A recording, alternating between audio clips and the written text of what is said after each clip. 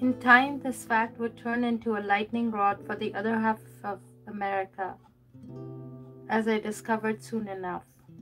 In early February, I went to DC to meet the president on some legal matters. I can't remember the details. Another of the lawsuits for a woman he had allegedly tried to force himself on. No doubt, but I do remember the trip very well. I stayed at the Trump International Hotel in the old post office and took a limo to the White House. It was like the first day I went to see the boss in Trump Tower, with my name left at security as confirmation that I really wasn't dreaming, only now it was freaking the White House. I was shown into the West Wing, walking along a corridor and saying a polite hello to Jared Kushner, who had a small office down the hall from the Oval. In the summer before the election, I told a reporter for Vanity Fair, Emily Jane Fox, that I had take I would take a bullet for Trump, and I meant it. This book is written by Michael Cohen, who was an extreme big fan of Donald Trump.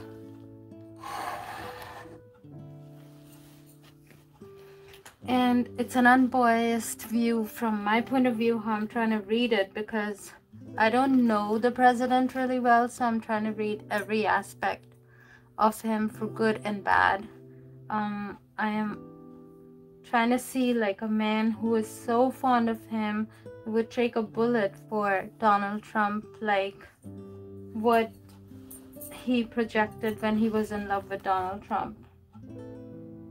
Trump was expecting me, and he saw me in the ante room, holding to me. Get in here, Trump cleared out the oval. I need Michael alone, he said as the aides filed out. He turned to me. Is this place unbelievable or what?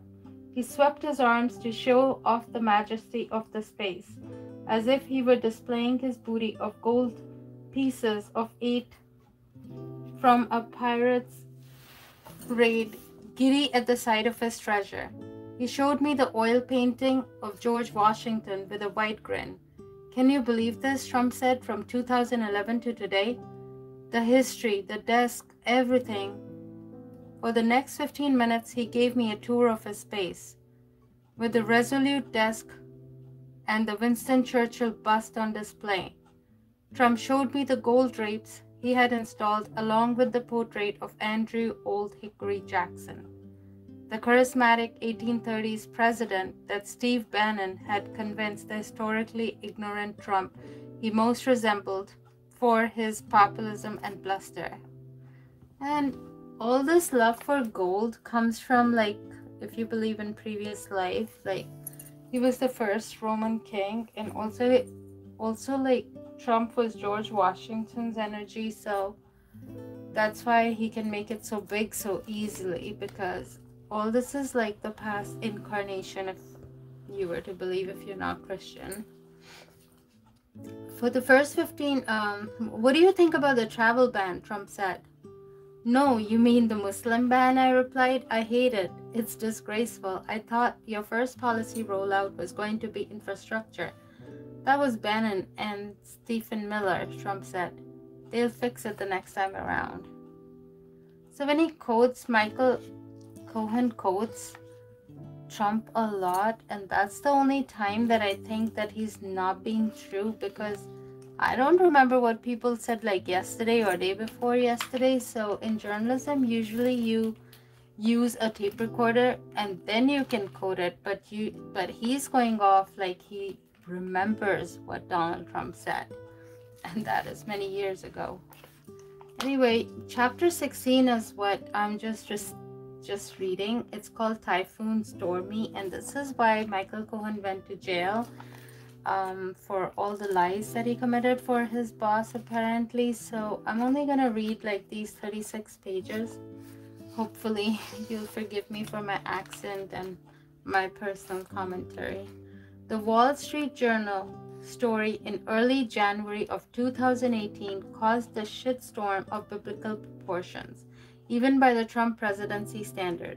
it was reported that I had paid Stormy Daniels 130,000 through a Delaware company called Essential Consulting LLC in the days before the 2016 election. That was perfectly true, as the world now knows. But at the time, I was fully dedicated to enforcing the NDA with Daniels and making sure she was silenced in order to protect Trump. I will spare you, gentle reader, all the tawdry details of ensuing weeks as I started legal proceedings against Daniels and her attorney, a charmer named Michael Avenatti, who rolled out their campaign to make money from the porn star's encounter with Trump more than a decade later. And she just wanted to sleep with a celebrity anyway. As the cable news talking heads exploded, and I went from being Trump's personal attorney to a household name. Events started to move incredibly quickly. Stormy Daniels went from being a small time porn impresario to the most famous adult actress in history, thanks to the coordinated and sophisticated media campaign with her teasing the nation on 60 Minutes and slyly hinting about her knowledge of the president's genitals. A swirl of news that remains hard to believe actually happened in the real world. But remember, this was the real Trump's reality. I mean, who doesn't want to get famous? So he was a nobody. She would make the news so big. The simultaneous nature of the ensuing chaos can be shown first by way of example. Around the same time, the book Fire and Fury was published, and immediately it went to number one on the bestsellers list, triggering a series of events that un- that upended the nation's politics and resulted in yours truly writing this account from the sewage treatment plant in federal prison camp. I read the book and was unimpressed. The author captured some of the chaos around Trump, I could see, but he was barely even an outsider. Some schlub reporter sitting on a couch in the hallway of the White House was suddenly the author with the best access to Donald Trump. The whole idea seemed preposterous to me, giving me inspiration to write my own book about me and the boss, one that would be far more intimate. The idea was to portray Trump's real estate deals and the genius he had displayed as a companion to the art of the deal. The story about Trump's acquisition of 40 Wall Street in the 1990s showed how incredibly smart he could be in real estate despite his many failings and weaknesses in other areas of life. For years, Trump claimed to have purchased the landmark downtown skyscraper for 1 million, boasting repeatedly on The Apprentice that it was worth hundreds of millions. Whatever the truth of the purchase price, it was undisputable that he had cleaned up on the deal by buying the 70 story neo Gothic 1920 skyscraper in a real estate slump for pennies on the dollar.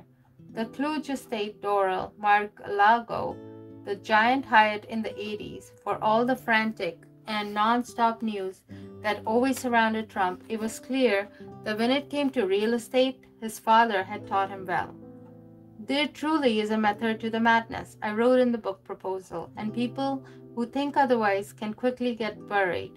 Trump Revolution From the Tower to the White House Understanding Donald J. Trump was the title I was thinking about. I had a ghostwriter and fancy agent to represent the project, and we drew up a proposal that outlined the basic approach. Unlike others writing about Trump, I wrote I really had known the man for a decade. I promised to write about the Russia investigation and my role, continuing to lie about the Moscow Tower deal, of course, and I was going to seek revenge on reporters I thought I had dealt unfairly reporters I thought had dealt unfairly with the boss and me. But I couldn't leave sleeping dogs alone, of course, so I also promised to clear up the unfortunate saga of Stormy Daniels and the 130,000 I had paid her in the week before the 2016 election. I wasn't going to reveal the fact that I had been repaid the money by Trump in the form of fake legal fees, or that I had done everything at the direction of the President of the United States. Needless to say, the proposal was 20 pages long and really didn't amount to much, at least not to my thinking. The White House let it be known that the President preferred that I didn't write a book without saying why. I figured it was because of my role as his longtime attorney and the Stormy Daniels story and the risk of further fanning those flames. To sell the book, I did a roadshow with my agent, meeting with the top editors for the five largest publishing houses in New York, and the feedback was very good. There was a lot of interest in a book that portrayed Trump in a new way. Even if I was going to pull many, many punches, I was going to be truthful. But I also had a good reason to be economical with the truth because here is the thing I care for Donald Trump even to this day, and I had and still have a lot of affection for him. This is really important. He really, really loves Donald Trump. I mean, 10 years, even after you break up with somebody, it's a big deal. You have some good memories. He wouldn't just be like saying, I would take a bullet for Donald Trump. And Donald Trump really didn't do anything bad to him, so he has no reason to hate him. In any event, there was a handshake deal with the publisher Hachette. As I hit pause to think through the reaction of the White House and to decide if, given the complexities, I really wanted to go through with the book. Even a limited portrait that didn't show Trump screwing vendors or taking advantage of old friends in a cutthroat way. Then the book proposed leaked to the Daily Beast, and all hell broke loose. I don't know exactly who leaked the proposal, but I have a pretty good idea that it was one of the publishing houses that didn't acquire the title a pretty act a petty act of petulance that had mind-bending consequences. The root of all that followed lay in the simple fact that Stormy Daniels wanted to tell the story, sell her story, and she didn't want me to beat her to the payday. At least that's my best guess, because her reaction came as soon as the story ran and the media madness began to show the first signs of emerging. The true genesis of all that ensued lay in the revelation of the amount of money that I would receive as an advance for the book, 500,000. In the days that followed, I screamed and bullied and misled reporters I had known for years, all in the service of trying to stop the truth from emerging. The long and the short of it all was that Daniels wanted to cash in, and after she fired Keith Davidson and took up with the charming, I'm being sarcastic, of course, Michael Avenatti, the outcome was inevitable, at least in the hindsight. There was never going to be any Trump book, of course, and the only thing I was going to author was catastrophe. Statements of Daniel were issued. Legal proceedings were brought to get was brought to get to restraining order, but Daniels was clearly going to talk at some point. The Karen McDougal story also surfaced, to the fury of David Pecker, but that story didn't excite and titillate the imagination of the nation in quite the same way as the Daniels story. In the end, there was no way to stop the sources leaking to the major newspapers and the new and the networks about the payment to Daniels, and once I was forced to admit to it, I issued a statement to the New York Times. The headline appeared on page 12 of the Times of the morning of February 14, 2008. 18. It succinctly summarized my role in the latest twist in the tawdry tale of Donald Trump and Stormy Daniels. Trump's longtime lawyer says he paid actress out of his own pocket. Neither the Trump organization nor the Trump campaign was party to the transaction with Mr. Clifford, and neither reimbursed me for the payment, either directly or indirectly. My statement said the payment to Miss Clifford was lawful and was not a campaign contribution or a campaign expenditure by anyone. I added the bromide I had used to convince Trump to make the payment in the first place. Just because something isn't true doesn't mean that it can't cause you harm or damage. Of course, as you know, I was lying. I had been reimbursed for the payments, plus money for income tax on the sum, plus a bonus, but that was no one's business as far as I was concerned. The Times reporter was Maggie Haberman. As I have mentioned, Maggie and I often exchange information and gossip and tips, but this latest conversation verged at on the absurd. Was I really expecting the world to believe I had spent 130,000 of my own money to hide the sexual past of Donald Trump after issuing the statement, I refused to answer follow up questions apart from saying it was a private transaction and the Trump and that Trump had no knowledge of the payment. Maggie noted in her piece that I had relied on the same seemingly true aphorism during the tam- campaign to explain why I had supposedly made the payment to Daniels. Even false information about Trump could cause him harm if it were published. But the premise of my explanation left obvious questions. Why would a lawyer, any lawyer, play, pay a client's expenses without their knowledge? Was that legal, ethical, rational? Cable television lit up in response, as usual, with liberal TV attorneys shaking their heads in disbelief and conservatives claiming yet again that Trump had been exonerated, willfully ignoring the vast holes in my story. This was the pattern that I had grown accustomed to, not just since Trump entered politics, but in all the years I had represented the boss. If you got in a lie, double and triple down, it was the opposite of Occam's razor. Instead of the simplest explanation being the likeliest, this strategy involved complicating the narrative, throwing sand in the eyes of the onlooker, claiming that transparently implausible stories were true unless proven otherwise. And even then, denying the obvious truth. It was a variation of the old joke Are you going to believe me or your lying eyes? It was surprisingly effective over time. If you're willing to be brazen and relentless, it helped if you never truly thought about the past or the consequences of lying, and if you always lived in the present tense, like a shark swimming through water, only able to survive through constant motion. Underneath my defiance stance lay the bedrock of what I had learned at the foot of Donald Trump when trouble arose. Just say fuck you. that is funny.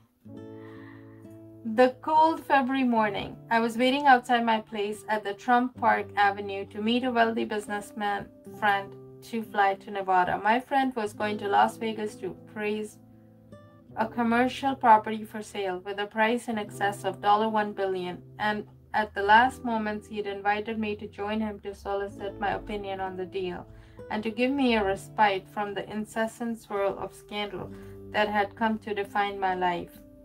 I had long inhabited the world of private jets, but as I sat in the SUV and looked over the prospectus for the property, my friend regaled me excitedly about features of this ultra lush G550 Gulfstream. See, even Michael Jackson, he was such a big celebrity. Most people just loved him like crazy, and to this day, they would. But like all the thing that happened with him, many people don't want to believe it. Nobody wants to believe that he slept with kids or if you're a fan, you just don't want to believe things. You're such a big fan. And that has happened forever, but people have shortcomings.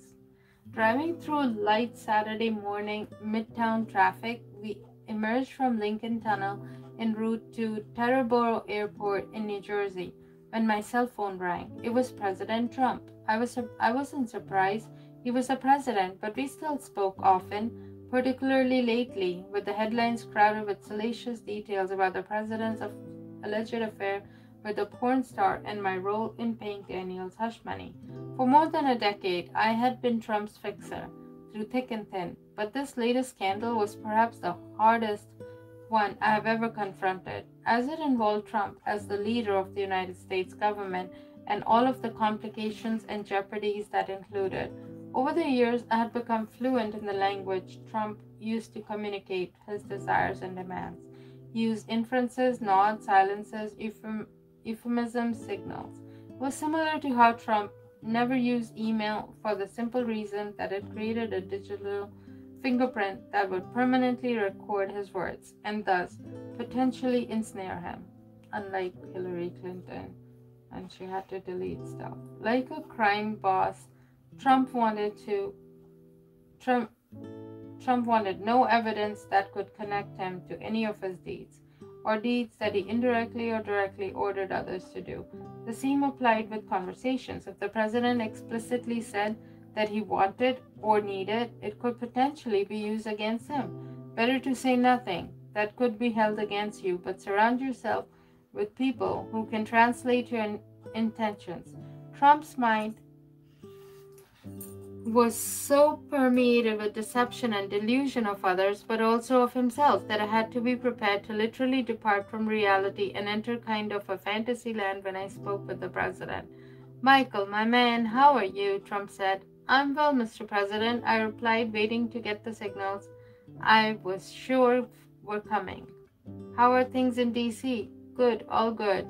Trump said, Listen, I have Melania on the line with us. Hi, Michael the First Lady said. Melania Trump didn't sound pleased to be on the phone. I knew Mr. Trump well, and I could tell inst- instantly from her tone of the voice that she had compelled to participate in the call. The reason for her reluctance were the understandable. In the press, I had claimed that I had paid Daniels from my own funds as a way to protect Donald Trump, a kind of selfless act may, meant to protect the then candidate from a scurril, scurrilous and false accusation of sexual infidelity in the hothouse days before the election. My claim was risible on its face, but that was how the game was played. I knew. Lies followed lies, followed lies, a spiral of logic that inevitably sullied me and everyone else involved. But I sensed that the the degrading process was about to hit yet another new low, and I was desperate to spare the First Lady from the humiliating charade that I could see was about to be played out. To me, Melania was the epitome of class. Her life was dedicated to being a mother to Barron, and she was never shy about letting everyone know that, including DJT, that's part of what made lying to her so difficult.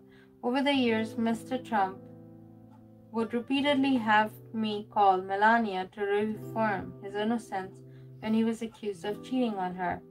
I'm sure she freaking knew. At the urging of the president, I started to recite the same story I had told the New York Times. It was sickening that I was lying to another man's wife about the man's infidelity, crossing so many boundaries of basic decency it boggled the mind. But what else should he have done? The lies kept compounding because I had been forced to lie to my wife about the funds, taking money out of our home equity line of credit on our Park Avenue apartment to disguise the use of money. As I've said, Laura ran our family's finances, and she wasn't going to agree to spend a large amount of her money to cover up Donald Trump's sexual escapades, whether I was going to be reimbursed or not, as they well knew. As I talked, it would it seemed to me that it was almost like Trump believed the lies himself, as he might actually believe that he had sex with Stormy Daniels in 2006. Oh God, like, let go. It's like 2018 and we're talking about 2006. It's like, Stormy only came after Donald Trump for money. Like, whether Donald is good or bad, she's like, worse ever. Worse ever.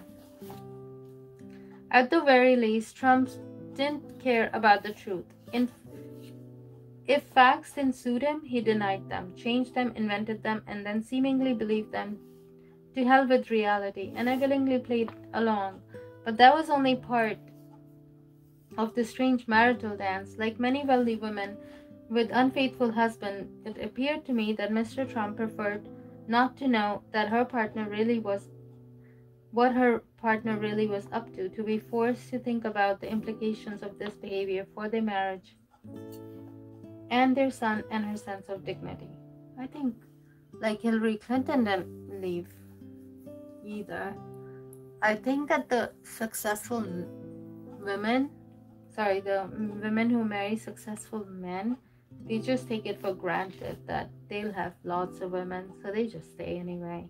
As I duly recited the lines about paying Daniels myself, at Trump's prompting, speaking in the tone of a highly responsible attorney who had selflessly protected his client from the slings and the arrows of vicious liars and scammers and their sleazy attorneys, Trump interrupted.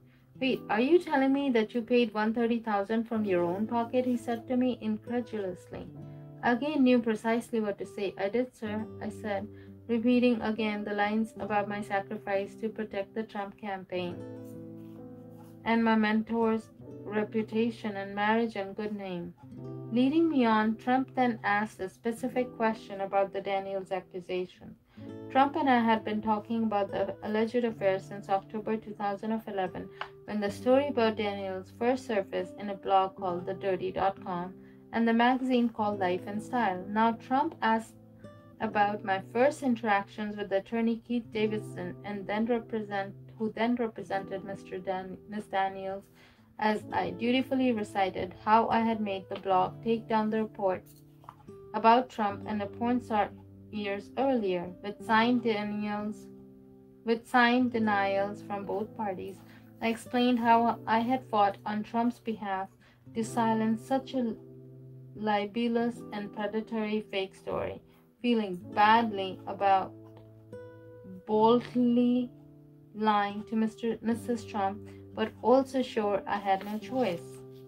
Of course, he was in love with Trump anyway. As I drew droned on about Daniel's affair, I was interrupted by the First Lady. I know all of this, she said curtly.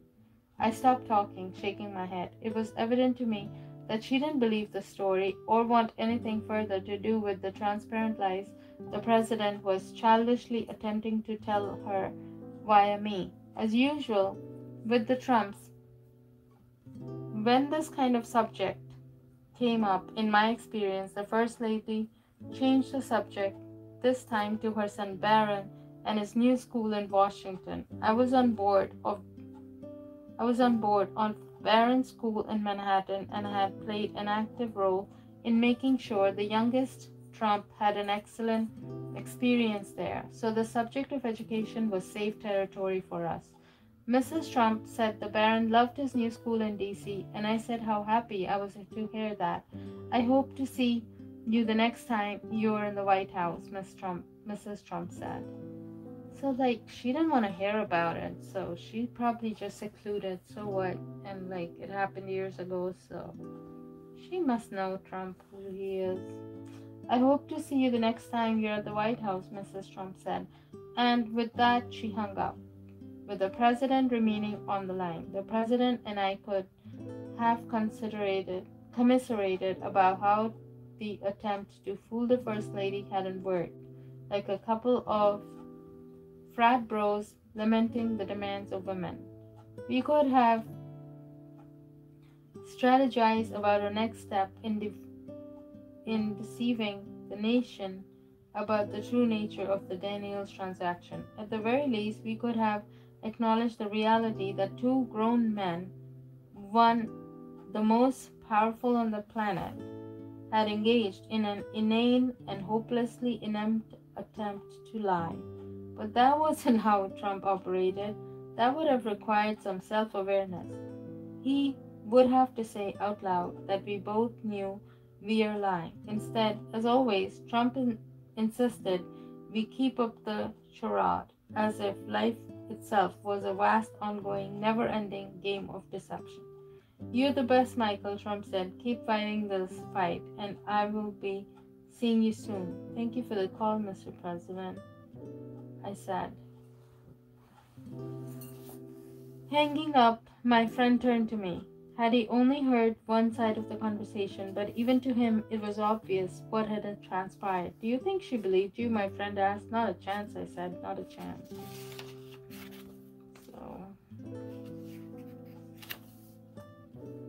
Here's an idea. Why don't I spare you all the nonsense involving Michael Avenatti and me? I hope the reviewers will take note of this tender mercy. Well, Avenatti was taunting me on television and calling me an idiot, all leading to his own seemingly inevitable downfall. I was getting the best form of revenge possible. I was living well. After the election, I had set myself up in New York office of Squire Patton Boggs, a top tier law firm located at Rockefeller Plaza, a strategic alliance which really meant the partners could brag to their clients that the personal attorney to the President of the United States was part of their outfit. I was also using my company Essential Consultants to break to take on clients like AT&T, Novartis, Columbus Nova, and BTA Bank, high level companies desperate for insights and connection to the president and willing to pay for an assistance. Was I cashing in on my relationship with Trump? Of course I was.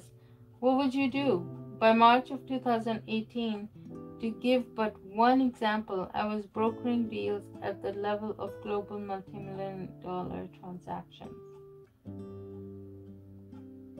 Down in Palm Springs, Palm Springs, I met with Franklin Haney, a Memphis businessman who'd long been Democrat, but who gave $1 million to Trump's inaugural com- committee and hired me to help fiance, finance a proposed nuclear power plant in Alabama. Haney also needed a ton of federal approvals to complete the project, which was here, which was where I came in to help and guide his attorney Greasings, the wheel of commerce and government.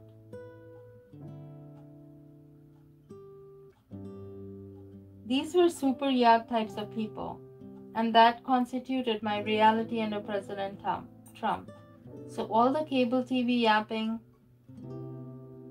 from Avenatti and the Toot Toots on liberal cable networks were like water off a duck's back. The real reason I'd come to Florida was to meet with Hamad bin Jassim, who had been the Prime Minister of Qatar from 2007 to 2013, the Foreign Minister from 1992 to 2013, and the CEO of Qatar Investment Authority, or QIA, from 2005 to 2013 those titles didn't remotely describe his real authority as the single person responsible for the disposition of the QIA's 320 billion fund.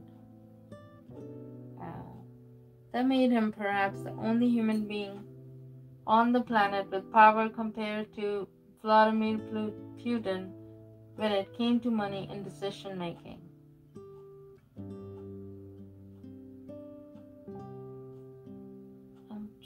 Hamad bin Jassim. At the time, Qatar was being isolated by the Saudi kingdom, as I was trying to put Hamad in good graces of the President of the United States as a way for the tiny mega rich emirate to hedge their geopolitical risk. I'm gonna have a sip of Okay,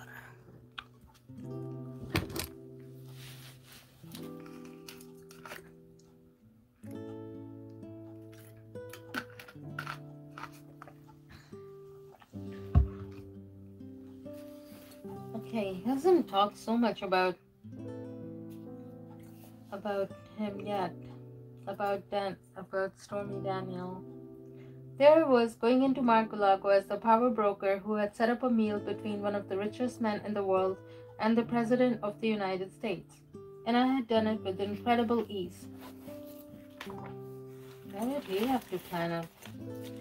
That was what I was talking about when I wrote about the mesmerizing effect of being around Trump. For all the bullshit and bluster, he really was running the world, and I was really an incre- and it, and I really was an incredible, unbelievably, insanely powerful attorney and fixer on an intergalactic plane of existence. The dining room was packed with billionaires like Nelson Peltz and AK Perlmutter, but in that crowd, we don't even know all these people.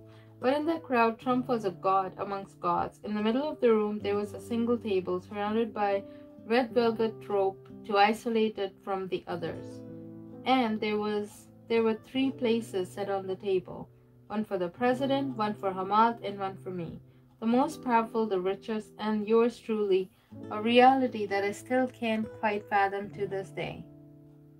Trump was likewise in a fantasy land, and I could tell he had, he always had rich people floating around him, but now he was literally the center of the attention, as he had always wanted to be. The truth was that I felt like a billion dollars. I was unstoppable, I figured. All I had to do was ask, and there I was, with one of the richest men in the world, differentially awaiting the leader of the free world Ladies and gentlemen, the President of the United States, one of the staff members announced, and it came and in came Trump to a standing ovation. The only thing I can compare to the rapturous reception to was the way North Koreans bow and scrape at the sight of Kim Kim Jong Un. Hamad, you're one of the richest men in the world, Trump said by way of introduction as he reached the Trump and said, You know my lawyer, Michael. The acknowledgement made me feel special for sure. The conversation ranged from Middle East geopolitics to the economy. Hamad bin Jassim had deep knowledge about the needs of the region and the underlying reason for the Sunni Shiite division and the war in Yemen.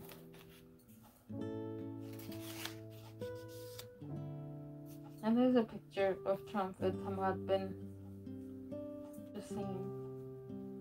He just looks like an ordinary man. Uh, and the Emir talked about ISIS and Hezbollah and, and Iran and justness of the cause of the Houthi insurgents in Yemen. Jared Kushner was working on a plan for an overall peace in the Middle East, at least in theory. But here an emir was going directly to Trump to ensure that his views on the most pressing existential questions facing his nations were heard. He had good reason to want the meeting. Trump was close, but the young Saudi leader Mohammed bin Salman or MBS, and the Saudis hated the Qataris, so Hamad meeting with Trump was an opportunity to in, infinite value.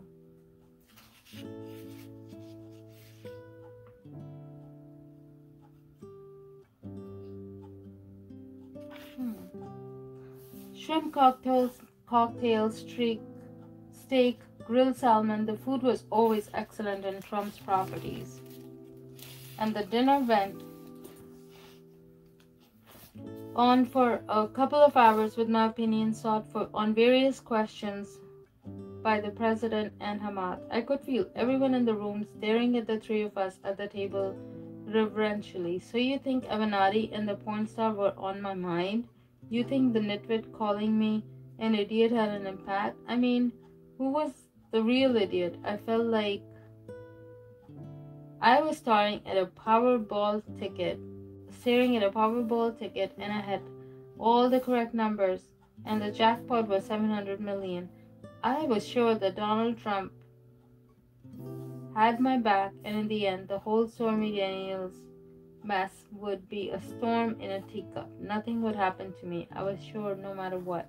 As Trump, as Trump, Hamad, and I made our way through the room after eating, I made sure to introduce him to Franklin Haney, the developer who was going to pay me a broker fee of 10 million, plus a suitable, sizable 15% interest in the company if I assisted him in getting money for his nuclear plant. Hamad bin Jas Jassim, Jassim had just undertaken to invest up to 245 billion in the United States.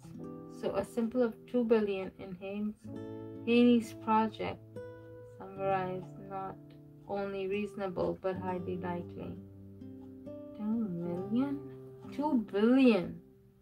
A few days later, I was back in Manhattan at the hotel rooms I had taken for family while we fixed up our apartment in Trump Park Avenue after a broken pipe in a neighborhood's place had burst.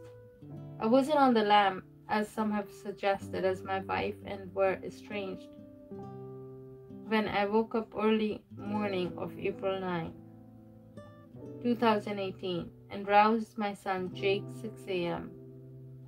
with a mixture of kiss and WWE wrestling movies. It, I had made coffee, coffee and oatmeal, and turned the TV and started to flip through New York Times. How does he know what he made? By seven, Jake had gone to school, and I was walking around in Nike shorts and Laura in her dressing gown when there was a knock at the door. How do I. How do you remember what you ate? I looked through the peeping hole and saw a crowd of men in the hallway folding up badges.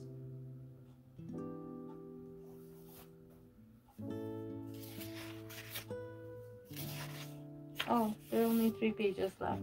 FBI, Mr. Cohen, one of them said, Please open the door. Stepping inside as I obliged, two of the men grabbed me at my waist to immobilize me. It's okay, the lead agent said. Everything is fine. The lead agent explained that they had a warrant for the three hotel rooms and my family occupied, along with my cell phones, office, safe deposit box, law office, and apartment. We know you have firearms, the lead agent said to me. How many? Two, I said. Loaded. Yes, I replied, but not chambered. I showed them to the nightstand, where I kept both Glocks, the 40 caliber and 9 mm. To say I was in shock would be a huge understatement. I had no clue I was the target of an investigation or that Mueller's special counsel had taken an interest in me. I was still the regular contact with President I was still in regular contact with President Trump and in his good graces, and the attorney we had retained for a joint defense in case an issue came up and assured me that I wasn't on the agenda for the prosecutions then being conducted in secret. The Avenatti nonsense wasn't going full throttle. I knew, but it was all white noise to me. I had just had dinner at Mar-a-Lago with the president and one of the richest men in the world. I was bulletproof, I thought.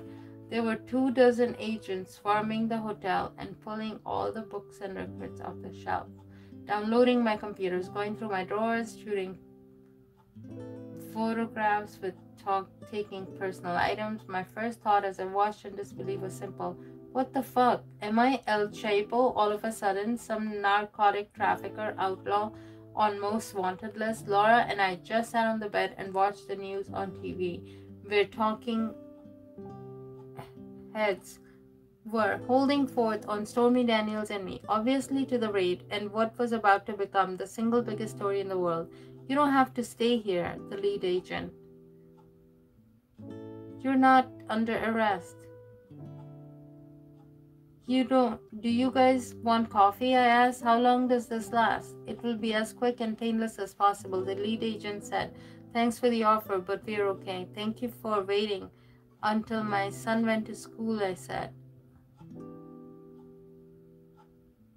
I was now on the other side of the power dynamic I had exploited so often on behalf of Donald Trump that effectively I was effectively in the position of EJ Ridings or at Trump mortgage. All those years, also having my reality dictated to me in real time. In the 1980s, along with a handful of parking tickets, but that was the sum total of all my brushes with the law. I never had been any kind of trouble, and now there was FBI agents going through my couches and scratching the drapes and searching the drapes. What the hell are they looking for? Laura asked. I have no choice. I have no clue. I said, let them look all they want. My second thought was that I had to go, I had to get word to Mr. Trump. I asked for my phone to make calls, but they refused. I said, I just want to retrieve the private number of the President of the United States, but they said I couldn't touch the phone. I asked them to at least let me retrieve the number, so I instructed them how to find the number and then read it to me. I was worshipped. Oh, sorry, I was worried that the president would hear about the raid from a third party and go insane. Two hours passed, and then my daughter Samantha walked through the door to our great surprise, asking what the hell was all going on.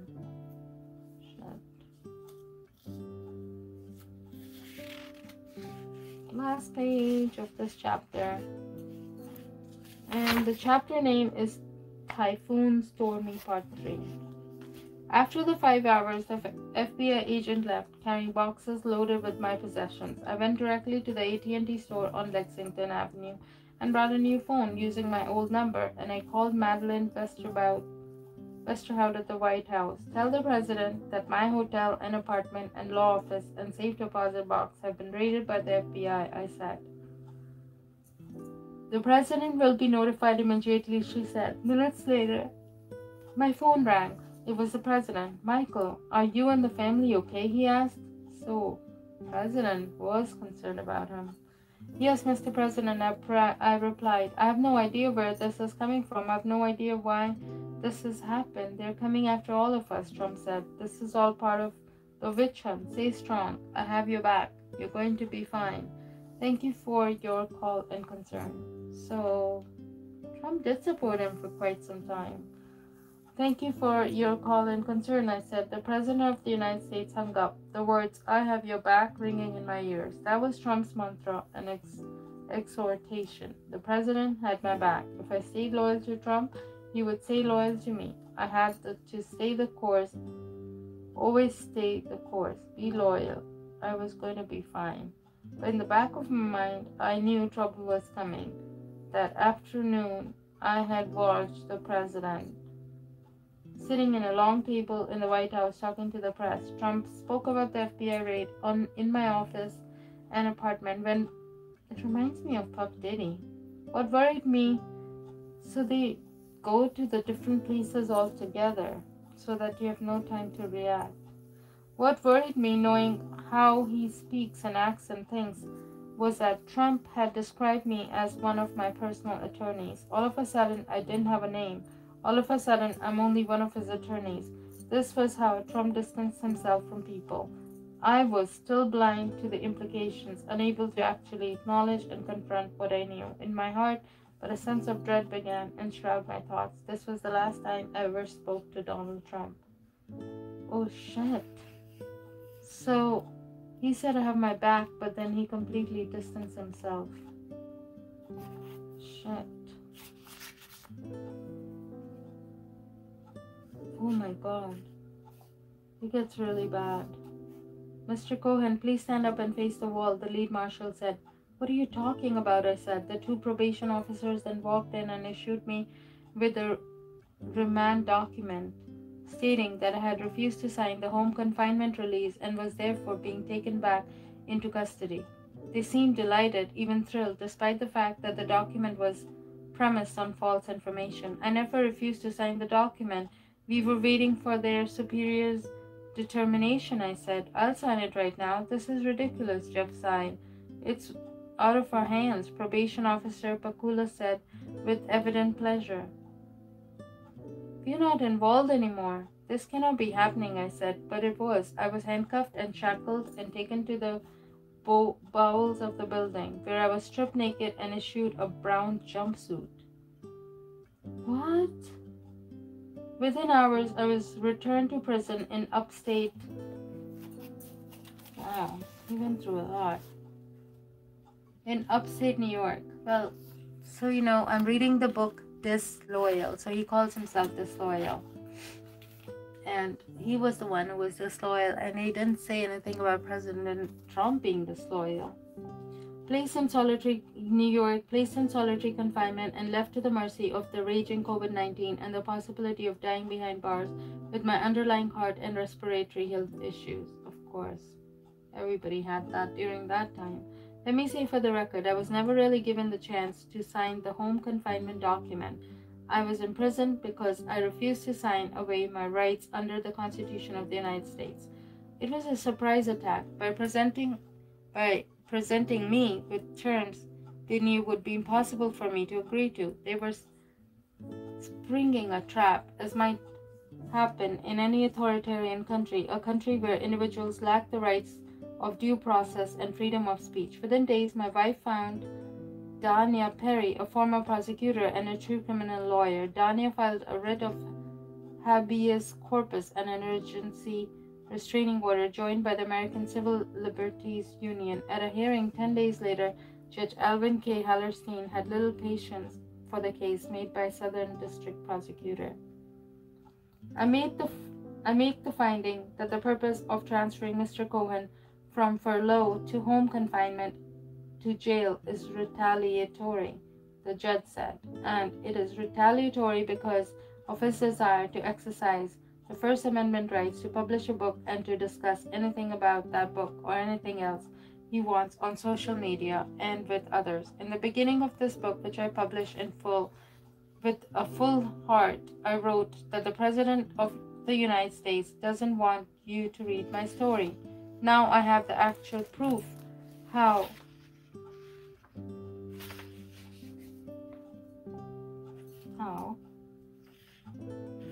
Desperate he is to silence and prevent the world from hearing the story and the truth about Donald J. Trump, the real, real Donald J. Trump. I don't know. When I read the whole book and I wrote read the last sentence, I don't think he portrayed Donald Trump as so evil. He portrayed him as um just a rich guy with a lot of money who just has lots of sex and he's crazy about um who he was as a celebrity. And he comes across as somebody who just looks up as a to a celebrity. He wasn't able to portray him like worse than he was. To me he did a good job by just owning up that he was disloyal and how he was totally enamored by the president. In a nutshell all this book is all about is like I love Donald Trump and I lied about it and I gave money. That's all this book is all about. And it has like 400 pages of blah, blah, blah. So rich people all cheat anyway. So it wasn't such a big deal. Um, I don't know if I can make a decision who should I vote, but in time I may.